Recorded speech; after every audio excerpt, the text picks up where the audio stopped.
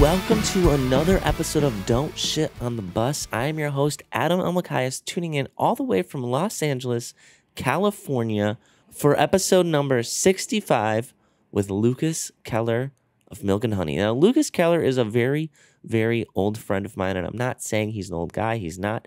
He's full of youth and life, but I've known him for a long time. I actually met Lucas when I was in high school in Madison, Wisconsin. I forget who actually introduced us. I think it was through a band. I think it was Just Surrender, Ascenders, something like that. And we ended up working together. And Lucas managed me for a few years when I was just starting out. But he taught me some of the most important things I could have been taught at that time. So he taught me how to write emails, how to work with people, what the required drive and work ethic was for the music industry.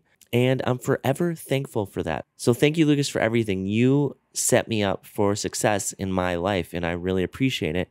And I'm honored that you were able to come back on the show and talk with me and catch me up with what you've been up to. Now, this episode, you know, it's a little bit shorter than the others. It's about 35 ish minutes, and that's okay. This episode covers Lucas's journey into the industry and what he kind of uses as his values to navigate the industry, which I think is is a very difficult part about the music industry. It's like, all right, who am I working with? What are they doing? Where are they coming from? What do they do? Now, Lucas is a manager for songwriters, uh, as well as other things. His company does a lot. Look them up if you want. They're called Milk and Honey. But I think what's nice here is that when you are working with other people in the industry, at least for me, managers, agents, publicists, like in our past episodes, it's nice to know where they come from. It's nice to know what their goals are, how they work in this industry. That way you can understand how you can best work with them. And in addition to that, Lucas has just got some killer advice. So I hope you enjoyed this week's episode of Don't Shit on the Bus. Before we go anywhere, thank you so much to all of our patrons for their contributions this month. We do have a new patron. Please welcome Jay to the Patreon. Thank you so much for supporting the podcast. I will get you your welcome gift package soon and I will see you on the Discord. All right. Thank you so much. Enjoy episode 65 with Lucas Keller of Milk and Honey.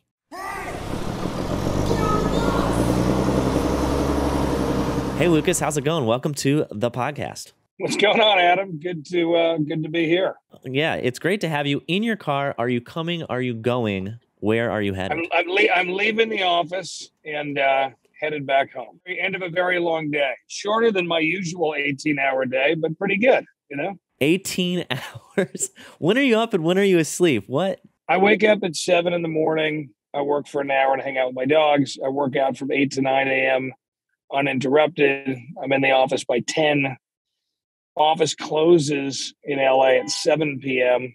Uh, but I, you know, I work pretty late, you know, Australia and Asia and sometimes late enough to hit the UK for a couple phone calls, depending. Oh my god. So, well, it's easy, not easy, but I'm sure it's effortless. In an, I'm sure you enjoy it. You love to work, so uh, you know, an 18-hour day, you wouldn't have it any other way. Well, you know, it's like they they they say, you know, they say to find what you love, and then it doesn't feel like a job. So yes, you found that, and you know, I like to start these podcasts. I kind of most people I have on are people that I have known for a long time, and we interacted with each other at some point in our life and for you and me it was like almost 10 years ago. We haven't really talked in 10 years and in that time yeah.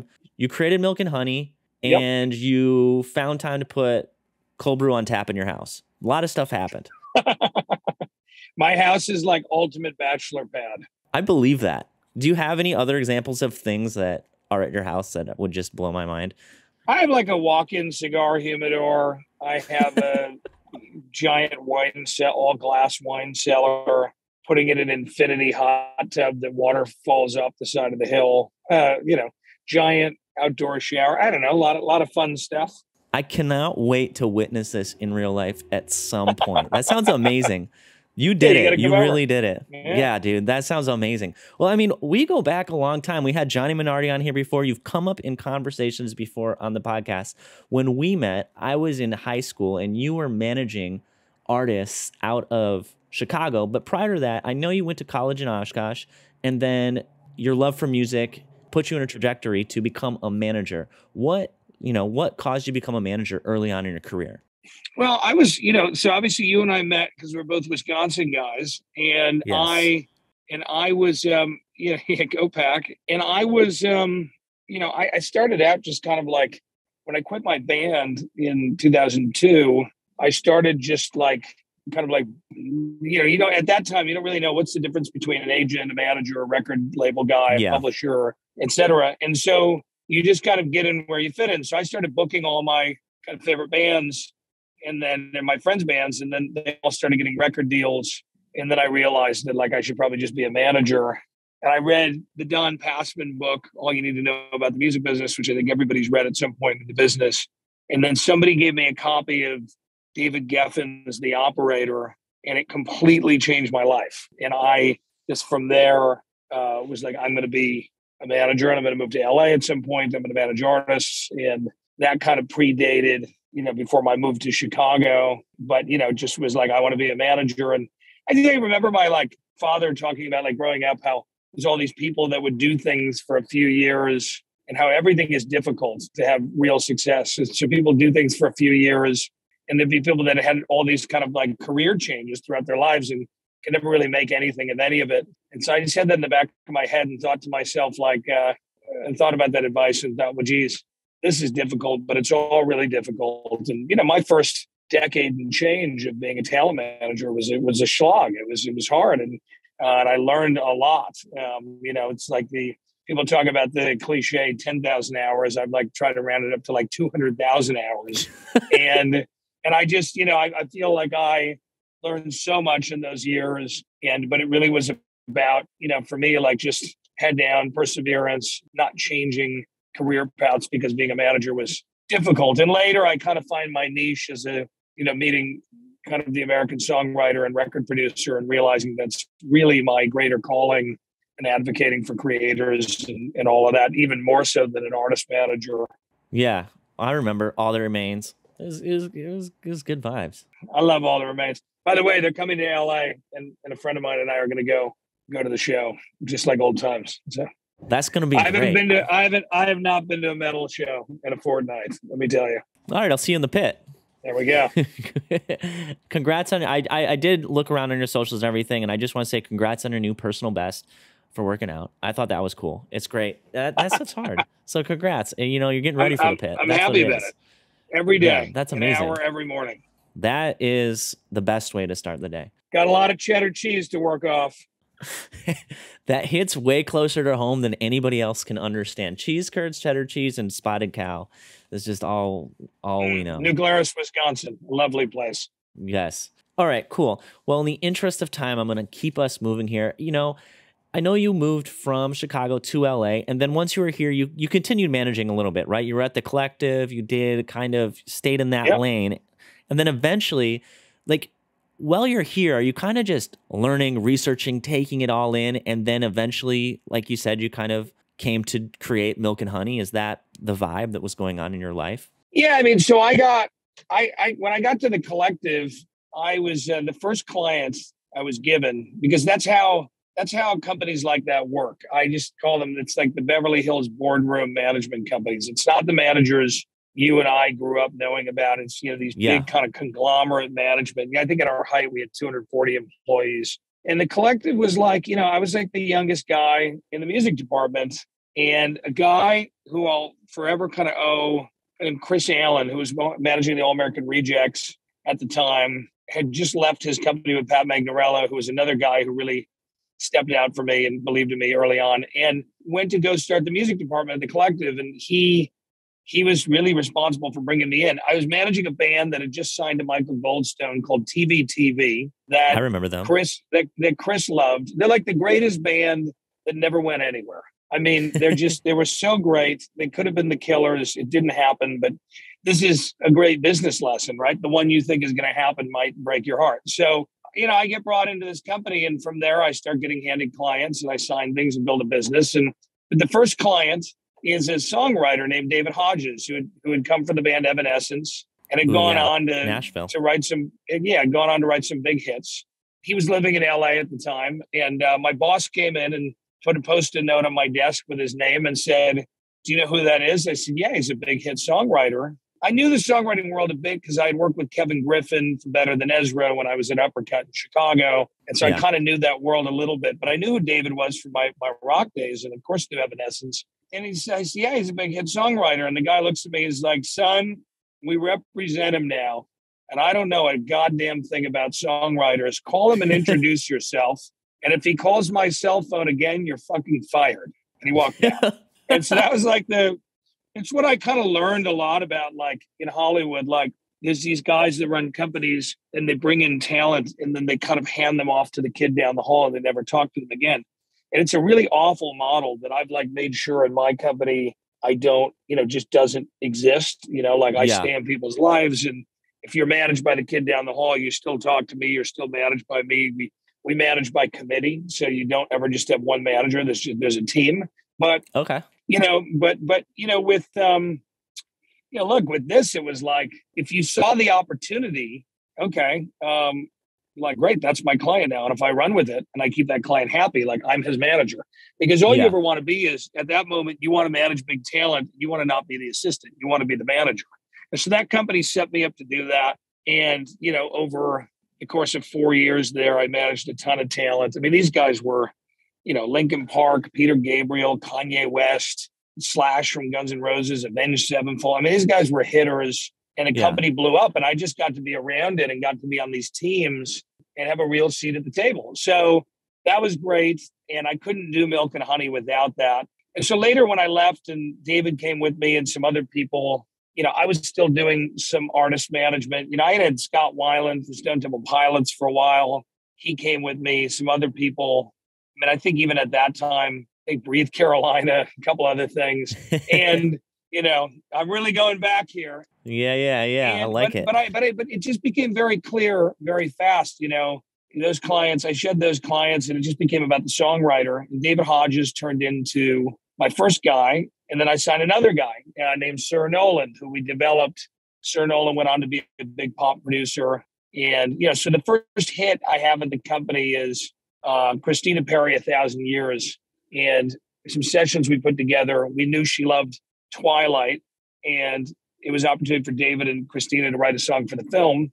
And they write a vampire song called A Thousand Years. And, you know, it's a diamond record now. And um, it's just a brilliant record that, you know, I've, I've just, in the last 10 years, I've just had songs that have gone on to play at, you know, tons of my friends' weddings and really amazing moments in people's lives. I look at like you know, James Arthur say you won't let go, which was one of mine, or if you look at Alessia Cara, Scars You're Beautiful, which was this huge movement with females and the whole anti-body shaming thing and the anti-suicide movement. Like this, it's just we've had these songs that have really sometimes when I forget about why I do this, I just go on YouTube and I look up our songs and I look up the covers and the stories and just kind of the furthest corners of the world that these songs have reached and and, it, and I and I'm like instantly reminded of kind of the impact you know, we're not curing cancer, but we're certainly helping facilitate art that impacts people's lives. So, so the second song we had, which was with Sir Nolan, was was uh, Nick Jonas "Jealous," and then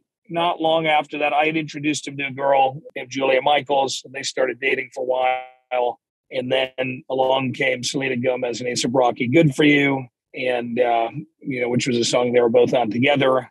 Um, that was those were back to back number ones. And so, like, it's kind of like in your first year in business, you're like, oh, dear God, can I please have one hit to turn the lights on? and then, like, the second year, there's more hits. And then the third year, we hit this great lick where, like, it just starts happening and it's hit after hit after hit. And it's crazy. And it allows us to open more offices, hire more people, and scale. Company's 28 people today. So it's, you know, it's pretty stepped up. And and it allows us to really really grow and um, you know one really fun note along the way on the wisconsin story is um, you know my general manager who was my intern like nine years ago is a burlington kid named nick warner. And nick is you know he made partner last year and he's a super super important part of running milk and honey. It's been cool to kind of start something independent with another guy from down the block and and see the kind of success it's it's had. So um, that's that's great the only thing Nick and I promise to do is uh, when we go home to our families for a couple weeks over the holidays is is not hang out with each other in Wisconsin because usually we need a break from each other. So but yeah, so that, that's kind of that's kind of the evolution. And later we get into artist management and we manage 25 DJs now and should have 12, 1300 shows this year if COVID sheds us any mercy. But you know, the real core is uh, is built on on the song and the and and songwriters. I mean, it's congratulations. First of all, it sounds great. I I want to go back to when you left the collective and started Milk and Honey. And at the beginning, you're talking about, you know, your dad told you that things are difficult, they're rough. How did you decide that leaving the collective wasn't you, you know, giving up and it was more like, all right, I did my time here. I learned what I needed to know. Now I need to do my own thing. How does that look internally? Yeah. So those guys like my boss in Chicago was great to me. Steve Hutton, wonderful guy. And Jeff Golenberg and Reza Izad and Jordan Berliant and all these guys in the collective were really good to me too. I just think there's a defiance when you're coming up. If you're a alpha dog and you're a leader of men and you uh, have opinions and you think you're right about them, even in your naivety, even in your naivety, you know, there's a lot of feeling like, oh, I can do this on my own. And then when you leave, you realize quickly, like, oh, maybe I can't. Maybe I made a mistake. like, so, like, you know, the unfortunate part is there's a lot of people in this town and out in the world that have this this kind of bull, bullish confidence and and don't really have the chops. And so, fortunately, I had enough of them, and I had a lot of luck on my side too. But I've always been such a student of the greats and of the craft that I I just had my head down and I you know did the work and and didn't really rest on any laurels. I'm like, oh my god, I'm going to go do my own thing, and that's going to be really hard. So I think what I realized, I remember driving away from the collective, 83, 83 Wilshire, and thinking to myself, oh my God, have I made a huge mistake? How will I ever compete with a company like that? And I remember, I remember having a uh, lunch with a friend, who's like a mentor to me, who said, you know, you're not going to compete with them for right now. You're going to compete with the people that that company was not for. So some people don't want that size of a company. You know, people want something more boutique.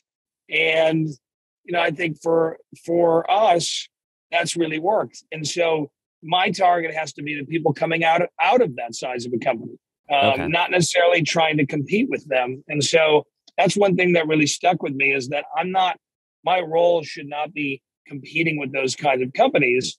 It should be, hey, you know, if you felt lost in the big system in Hollywood, we're a better option. And yeah. I was doing something different. I was targeting songwriters and record producers and not necessarily uh, frontline talent. Man, I really admire your kind of ability to transform, grow, learn, become, I don't know, just become better. And, you know, as you said in your email, your friend said it's Lucas Keller who is always doing the most, which I think is, you know, just by the short, the few things we've heard from you, it's very evident that is true.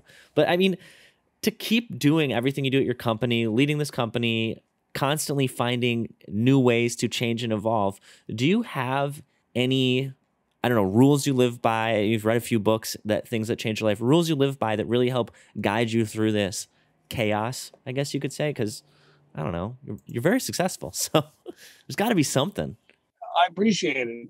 Uh, I mean, I think that uh, there's there's a lot of rules, you know, like you know, one is like you know, I love that thing about uh, you see the same people on the way down you see on the way up. And so, you know, just being about being good to people, you know, just our yeah. mantra. So, yeah, I mean, uh, you know, the, the, the idea is like taking the high road, even in really difficult situations. We really have put talent first and never signed contracts with anyone all of our deals with our and our handshake deals, uh, which I'm oh, really wow. proud of. That's amazing. It's the best testament to our work. I've got a roster of people that can be represented by competitors and they're not leaving. We have almost yeah. no turnover in employees or clients. You know, we have all the same people from the beginning for the most part. I've never fired an employee. You know, we really just invest in relationships. So my whole mantra is LTR, long-term relationship. That's what I care about. Whatever the business terms may be, it's all about having long-term relationships because that is where I've been able to monetize the most and have, have the most success. I can't make that much money that, that I care about off of one hit with you. But if I can represent you for five years and plus plus, and we have multiple hits and your perennial success, that's interesting to me, you know? And the same thing goes for, you know, for all of the other relationships. So, and then as it relates to kind of mantra for life, look, I'm just a really blue collar still. I'm really big into staying in our clients' lives and doing the things that I did in the beginning. There's a lot of things I can't do anymore. I don't have the bandwidth to do like I used to, but I try to make sure that I do the things that count. And, you know, the clients all hear from me a lot. I've got all of the special days in the calendar, always checking in, gifting, all the things that make them know like we care. And so I just think a lot of people they get rich but don't get fat. You know, it's like I to, in my opinion, it's there's just too many people that stop doing the work.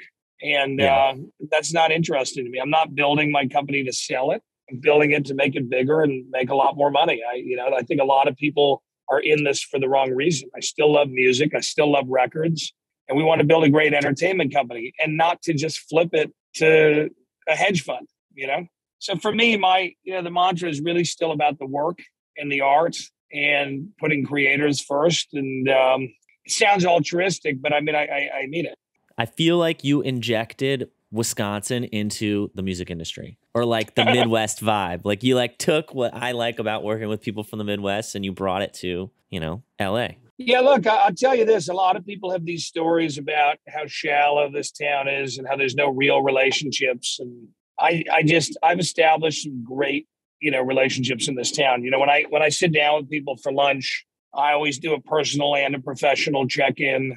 I, you know, I just have so many relationships where I know, you know, where I'm in their life beyond just the business and not yeah. just our clients, all kinds of people. And I just think this town is so big on like, okay, we sit down to lunch. Like, what deal are we doing, or why are we here, or just so many people flexing their success. And at some point, it's just like, I, you know, it gets it, that wears on me as I'm getting older, and I just think I still care about like the 4 a.m. night at the library, like. I, you know, mm-hmm. I, I, I really and seriously like over the pandemic. One of the things I started doing was selling publishing catalogs.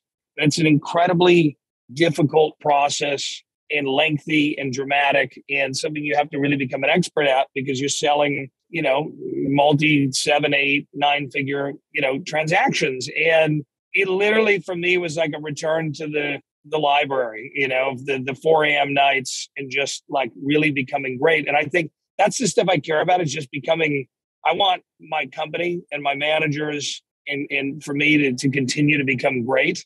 You know the success will follow and we love we love the success but i think we're kind of guys that like as a company i have a lot of people that are understated in the way that you know we kind of walk out of the building like you know we did it today and we'll do it again tomorrow and it's you know it's the the, the kind of fruits of our labor and the and the byproduct of of hard work la kind of wears me out like that because there's a lot of people that are just they're not focused on becoming better they're just in it for what can you do for me and and I just, you know, the things I care about are like really great personal relationships with people. And then, like, as it relates to our work, just becoming the best. Another thing from my father, you know, my father was a founding partner in the biggest architecture firm in Wisconsin. And at one point, he left to go do something smaller. And I vividly remember, you know, he went to go do like a into like into a 20 person company from a 200 person company. And, and I said, well, what, why? I didn't understand. And he said, because, you know, he said, you, once you do the biggest, your next focus is on being the best. And hmm. that to me is coming out of a big shop. That's my focus is is building something that's the best. That's what I care about. Man, I love all this. This really embodies what the podcast is kind of about. And I, I was wondering, like, when you're working with these people, whether it be client or hiring on people for your company, you said you focus on these long term relationships. And you're kind of, in my opinion, finding people that are in it for the right reasons, in it for the same reasons that you are, and doing things that you know cultivate these passionate, honest, and ultimately long-term relationships. What do you look for in people, regardless of the work relationship, that really represents somebody who does that? Because I'm sure you've turned people away, or you said no to people. And we say we say no way more than we say yes. I think what I look for is it's like the speed of trust. Like how quickly can I trust you? How quickly can I understand your moral character, your work ethic? How are you? How's it going to be when you when things are rough and uh, when we're in the trough and we're not in the peak?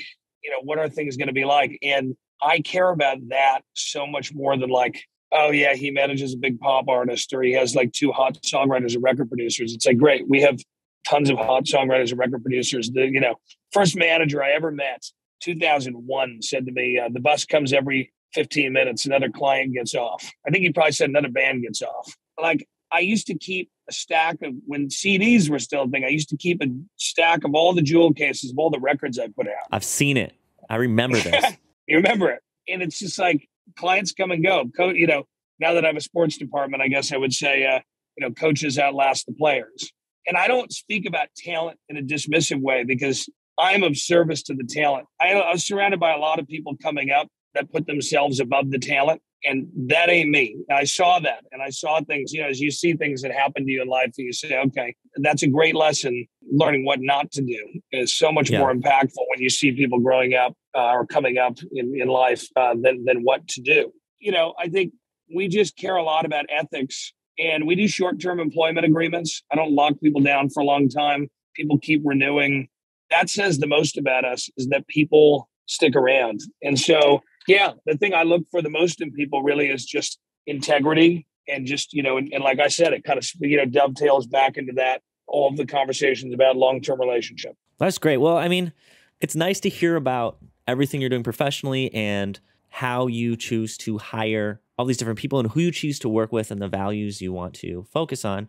And when I was kind of looking through your Wikipedia, looking through all the information I could find on you online that wasn't your Facebook or something, uh, something else that stuck out to me was your support for, you know, you still find time with all this to support the LGBTQ community. You hosted yep. an event in 2019. What prompted that? Is there anything in your life that kind of, you know, I feel like if you take time to do something, it has to be important because you're so busy. Like, how do you find time for this? And I don't really have a real question here. I just wanted to kind of understand more of what you do there. So, so uh, I came out at 27 and then Billboard put me on their like LGBTQ power executive, you know, power 100 or power executives list. And our publicist said, "Do you want to do this?" And I said, "I don't think so. I don't. I don't know if I care." And she said, "No, I think you should do this." I said, "I don't really lead into that." And she's like, "Well, she's like, I think you should do it." So I did it, and then all of my friends called me, and I realized I'd never come out to the business. I'd come out to friends, but not to the business. So after that, I started doing more of that stuff, and you know, I talked to Out Magazine and I talked to Variety and I talked to all kinds of, you know, Billboard when they do the Pride Summit. And I think my thing is, for whatever reason, I didn't have a lot of discrimination coming up in the business. And the reason is, I guess nobody would have guessed I was gay and nobody, uh, and, and, and because nobody knew, the, the truth is I, I didn't have any discrimination. And that's not the story for many, many people, you know, talent, executives, etc. you know, kind of the lack of LGBTQ uh, artists, you know, in the community and the opportunities for them.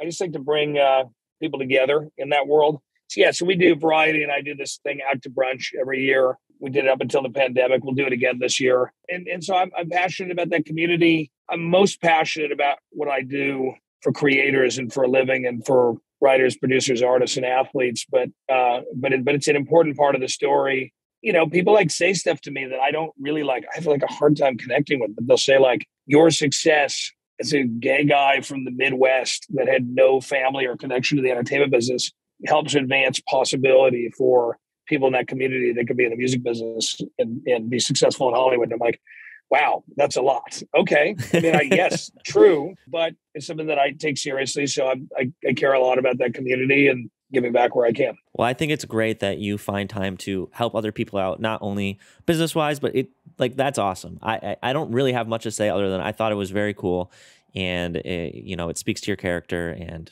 just thanks. I'm not a part of that community exclusively, but I think it's important to help people that you know have less opportunities or it's harder for them, and it's nice to see people like you doing that. I don't know. I like that. Well, cool. I yeah. mean, Lucas, that pretty much sums up everything I had for you today. And, you know, I think we're perfect on time here. We do have one last question for you, if that's okay. Yeah, yeah. This is, you know, this podcast was started on touring. So I know, and I know you've been in a band and worked with bands. So you're going to know this question, even if you've never experienced it. But if you were to tour in this day and age, shower shoes or no shower shoes, what are you doing on the road? shower shoes for sure. My father used to go to the right. It's everything about my dad here. My my father used to go. I'm so way too Hollywood to have ever done this, but uh, uh, my father used to go work out at the YMCA, and he didn't wear shower shoes and got staph infection, almost lost his leg over it. So, oh my god, um, yeah, like athlete's foot and staph infection, whatever. So always shower shoes. And uh, if we're learning after a pandemic, there's dangerous germs out there.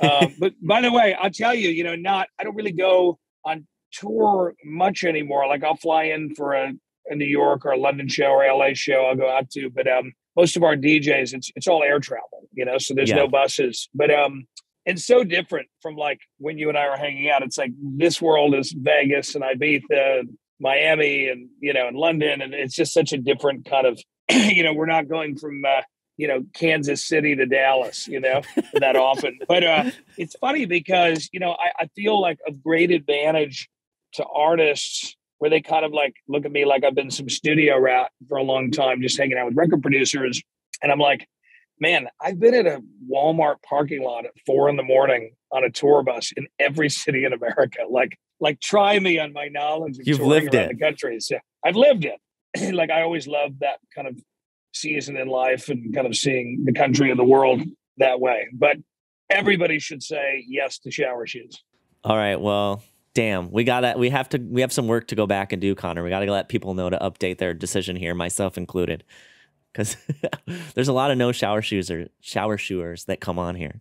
By the way, to the name of your podcast, the answer is yes, shit on the bus. Just make enough money to pay for it. This you just pull the whole Snoop Dogg like I'm gonna smoke weed in the venue. I'm just gonna pay the fines before we get there kind of vibe. Just Hundred percent. okay, cool. Well, thanks, Lucas, so much for your time. Have a good rest of your day. Yeah, my pleasure. Enjoy your trip and uh, as much as you can, and uh, look forward to hearing from you when you get back. Thanks again. Yeah, man. man. Yeah, let's get together. We'll grab a drink. It'll be great. Easy. Sounds good. Take care. Good to meet you, Connor. Take care. Good.